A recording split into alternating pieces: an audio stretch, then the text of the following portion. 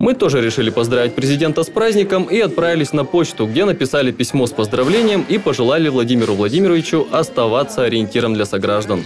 Москва, Кремль, президенту России. Адрес, по которому можно отправить письменное послание главе страны, очень прост. Наше письмо отправляется в путь. Надеюсь, Владимиру Владимировичу будет приятно.